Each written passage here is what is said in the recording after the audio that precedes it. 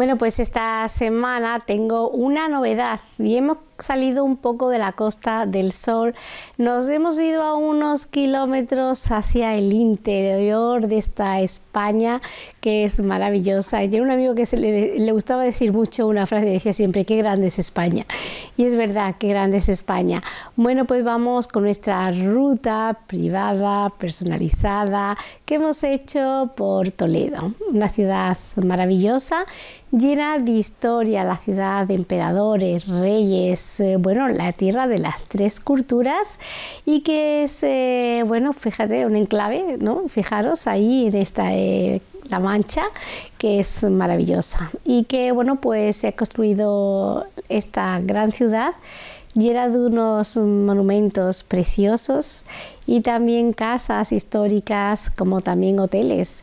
Uno de ellos es el hotel donde nos hemos alojado, que es el Hotel Abad de, esta ciudad de Toledo, que está muy céntrico, es eh, muy antiguo lo que era el local, porque era una antigua herrería que fue hace muchísimos años, pero el hotel está muy bonito, muy nuevo, todas las instalaciones son perfectas y bien acondicionadas, cada habitación de un estilo diferente y que tiene connotaciones también modernas y también de la época. Incluso uno de sus propietarios, Antonio, restaura esos muebles que vamos a ver a continuación. Y también vamos a dar una vuelta por esos monumentos, por ese río y vamos a conocer, porque el hotel estaba en el centro justamente del casco histórico de la ciudad de Toledo, justamente para lo que, lo que conocéis Toledo, pues veréis ahí la Puerta del Sol, que está justo al ladito del hotel, y además pues eh, otro entorno, está muy cerca también el Museo del Greco, como son esas calles antiguas de restos de la mezquita, la calzada y, la Cruz de la Luz, que vamos también a ver, eh, entre otras muchas otras cosas que vamos a recorrer por la ciudad en estos minutos que os vamos a ofrecer, que espero que sean de vuestro agrado y que repetiré, que me han dicho que el corpus también allí en Toledo es precioso. Así que me gustaría, me gustaría volver porque es una tierra que me ha dejado hipnotizada. Además, tenemos que hacer mención a la gastronomía, porque la gastronomía también es muy exquisita, muy rica. Es rica también esos platos no típicos, como muchos conoceréis, ¿no? como es la perdiz, que hacen estofada la carcamusa, que también es muy simpático este nombre, porque tiene un porqué, y es que resulta de que había, dice la, la leyenda, cuenta la historia, que había un bar en el cual había muchos hombres mayores con chicas jóvenes. Por eso los carca, ¿no? Le decimos, ¿no? Que carca, ¿no? Es cuando decimos una persona mayor, eh, hay esa expresión de decirles carca. Bueno, pues el carca, eh, carcamán, que es muy mayor, con la musa, que es una chica joven, ¿no? La carca, carcamusa. Bueno, pues ese es el plato y que también lo hemos probado, ¿eh? Muy rico, muy rico. Bueno, pues eh, claro, nos habrá quedado, hemos quedado poco tiempo, con todas las cosas que hay que ver, así que se nos ha quedado muchas cosas por ver.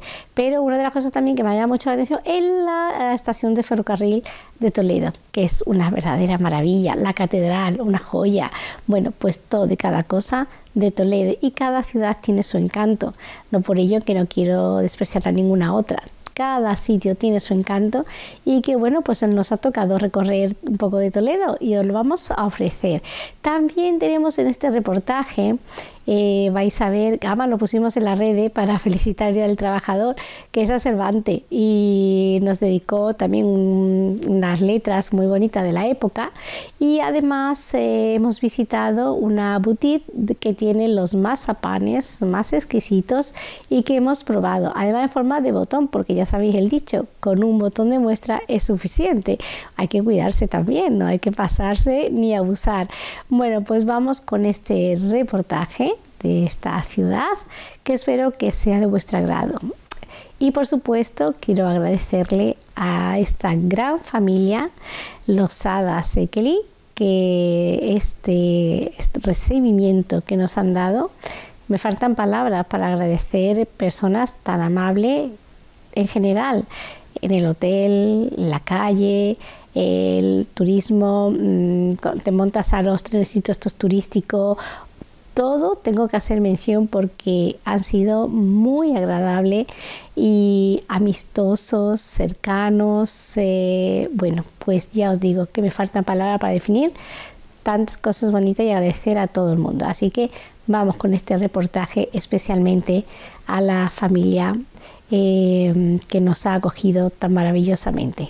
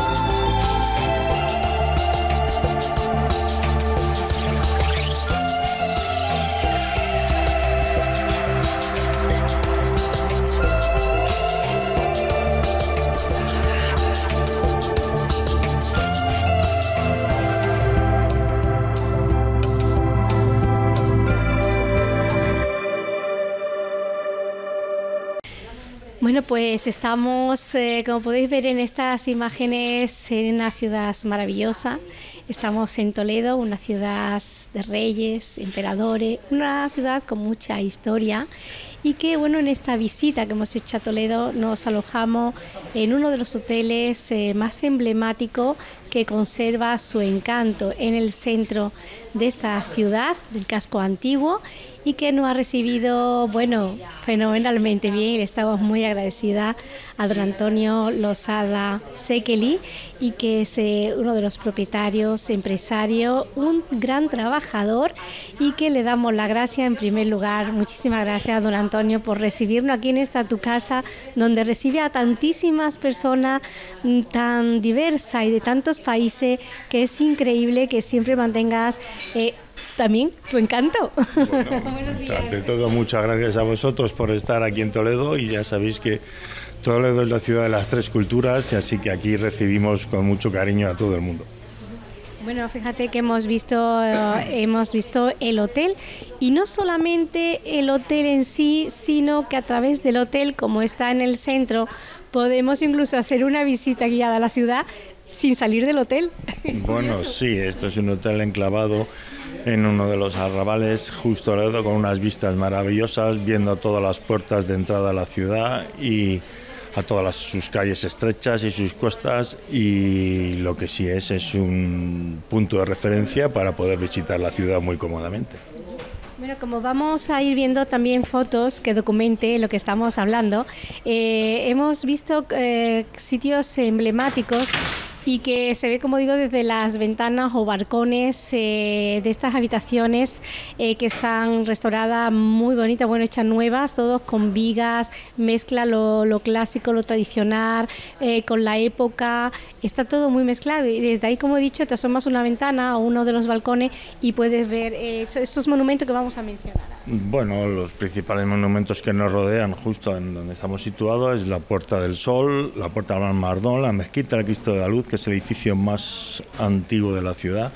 Fue mezquita, luego iglesia, tiene su propia leyenda y la Puerta Bisagra, cuestas, monasterios y, iglesias, que es lo que nos rodea y nos caracteriza a Toledo, sobre todo los conventos también. Eh, ¿Desde cuándo data este, mm, este edificio? Porque antes de ser hotel creo que me contaste que era una herrería, ¿no? Fíjate, hay muchísimo... Los primeros datos que tenemos del edificio es un edificio de 1815, luego pasó a ser una pequeña restauración, fue una herrería también, fue el primer edificio de la ciudad en usar eh, vigas de hierro y entonces se compagina las vigas de hierro sin soldaduras con las chavetas y el entramado de madera. Y estamos hablando de lo que es las bases del edificio, entre la primera zona que habéis visto, donde estaban los adobes, que es de 1815, y la otra que es de principios de 1900. Fíjate lo que habéis montado aquí, ¿eh? lo que habéis montado.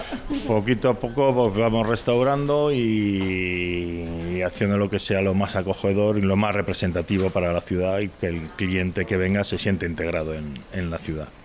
Luego tenéis otra parte, justamente aquí al lado detrás, que están los apartamentos, que también pues para venir una familia es ideal. Viene una familia aquí, se instala, está una semanita o el tiempo que le permita sus vacaciones o, los días que tenga de descanso y está también muy bien porque estás muy estás apartado, estás cerca, pero tienes mucha independencia. Bueno, es otra alternativa que ofrecemos a los clientes, sobre todo, ya sabes, a las familias que necesitan cocinar, que vienen con niños pequeños y que vienen para estancias más largas de tres, cuatro o incluso hace una, una semana.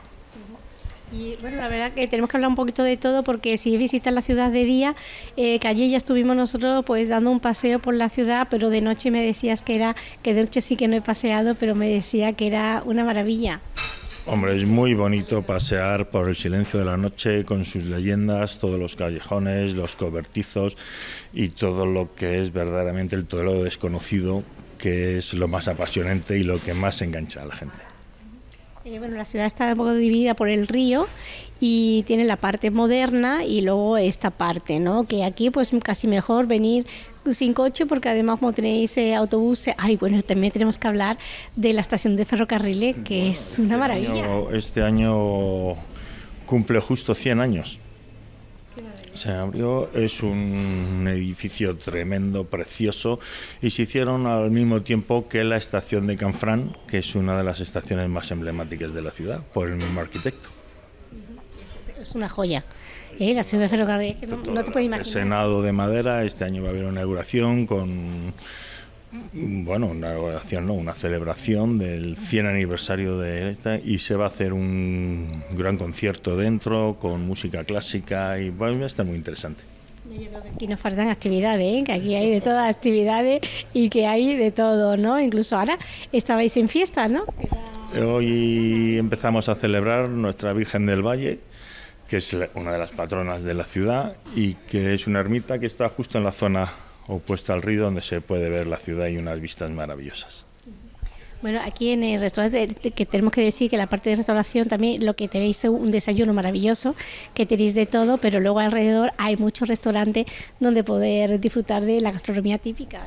Bueno, aquí en Toledo hay montones de restaurantes que ofrecen de todo, de comida moderna, comida fusión, comida tradicional, asadores, o sea que hay para que todo el mundo pueda disfrutar. Bueno, otra cosa muy emblemática, muy conocida aquí, era la Escuela de Traductores de Toledo. La, Escuela de Traductores, lo famoso era que se traducían las tres culturas, tanto los judíos, el árabe y el cristianismo. Eso era lo más importante, por eso es famoso y por eso se le llama la ciudad de las tres culturas, porque se consiguió que las tres culturas de Occidente vivieran en paz.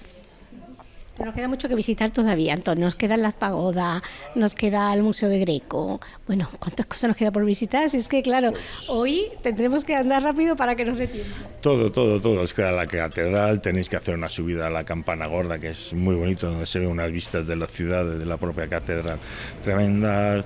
La sinagoga La Blanca, la sinagoga del Cristo de la Luz. La Casa del Greco es un museo precioso, tenéis que ir a ver el, con, el entierro del Conde de Graz, también del Greco, o sea, mm, tenéis que ir deprisa porque en un día no casi nos da ni tiempo. Porque se le llama la ciudad que hemos estado mencionando, la, la, ciudad de Cervantes, pero que realmente la historia, como, como tú me decías, pues empezó un poquito aquí al lado, ¿no? En Tomelloso, Cervantes, la historia de Cervantes viene de Tomelloso. Nosotros somos más del Greco que de Cervantes. Como está tan cerquita, igual me, me, siento Dulcinea y aquí mi Sancho Panza. Claro que sí. Aquí no podemos inventar cualquier historia para que lo pases bien. Ha sido un placer y de verdad estamos muy agradecidos, nos sentimos muy felices. Me faltan palabras para definir eh, lo felices que nos sentimos en esta ciudad y con ese agrado, simpatía, amabilidad y profesionalidad con la que nos ha atendido. Muchísimas gracias y felicidades a todo el equipo y por supuesto a tus hermanos y tu familia. Muchas gracias. Gracias a todos y aquí os esperamos cuando queráis volver. Muchas gracias.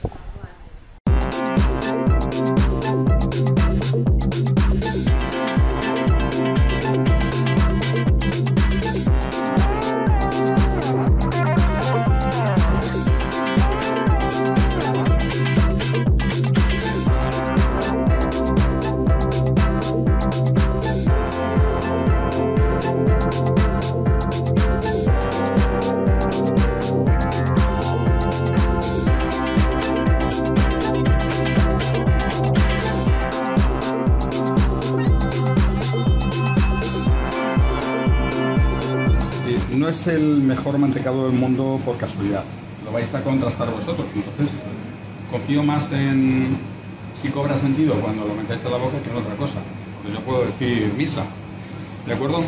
Así que lo que vamos a hacer es eh, coger uno y llevarlo a la boca entero. Tiene que ir incondicionalmente entero. Además es muy frágil. Lo voy a coger yo, por eso me he puesto los guantes, para que no haya problema porque es muy, muy frágil. Entero, Elena, por favor.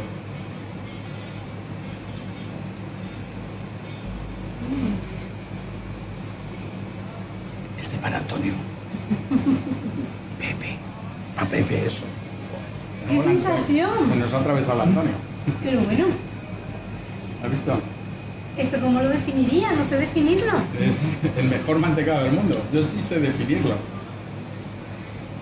Pero es que es una cosa vista y no vista, es que Eso te que pones así y se extraordinarios. reparte. Mira, es que, mira, os voy a explicar.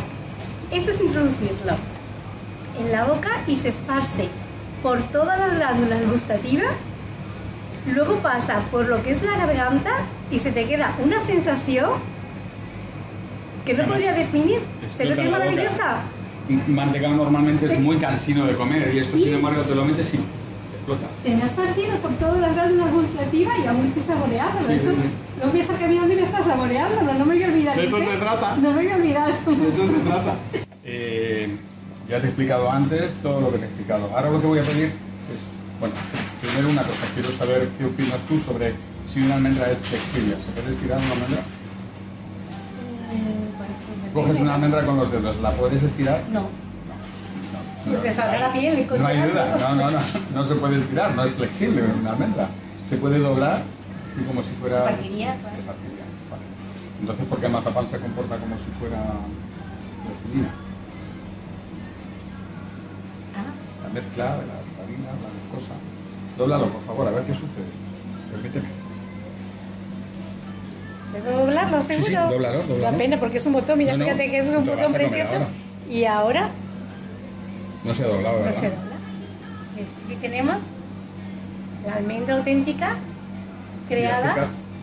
por los artesanos que hacen las cosas bien hechas, con productos, como hay que hacerlo, auténticos. ¿Lo probamos?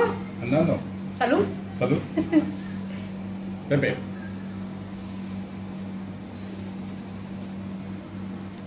De verdad tengo que decir que no tiene nada que ver con los mazapanes que nos comemos en la Navidad, que es cuando más lo comemos, ¿verdad? El mazapán. Bueno, pues la verdad es que el sabor es un sabor suave, con mucho equilibrio entre el azúcar, el sabor de la almendra, la elaboración. Casi se deshace, en el paladar se deshace y es realmente un gustazo. Mm. Solo dos ingredientes, nada más, y cocido en horno de leña. Ese es el concepto primitivo. Dos ingredientes. Es la base, ¿no? diríamos leña. los pilares. El concepto ¿no? primitivo, tal cual lo hicieron aquí, la primera vez los musulmanes. Pues una Azúcar de maravilla. almendra 50-50 y horno de leña, ni más ni menos, ni conservante, ni colorante, ni nada de eso. Esto es una delicia para el paladar de los dioses. Bueno, increíble. Salud por todos ustedes. Muchísimas gracias. Le doy un beso por haber sido tan amable. Voy a hacer un marcapáginas muy bonito para que lo tengáis de recuerdo toda la vida con vuestro nombre, ¿de acuerdo? y para que os acordéis de nosotros de aquí de Toledo, forevermente, como diría un lord inglés. Cervantes, mm, de verdad estás representando el papel histórico en la ciudad y quería preguntarte de los extranjeros, las personas que te pasan por aquí, por estas ciudad tan bonita de Toledo, ¿Qué es lo que te, te preguntan? ¿Qué te dicen? Bueno, preguntan ¿Qué- de todo. realmente, eh, ¿Cómo se impactan al verte, al ver a Cervantes? Claro, ver a alguien del siglo alguien, ¿no? alguien del siglo XVI, ¿cómo no va a impactar? No estoy guapo. Pues, Genial, ¿no? Es genial. Yo pues misma- claro que les impacta y más les impacta mi trabajo, lo vais a ver ahora, ¿de acuerdo? Venga. Fijaos bien.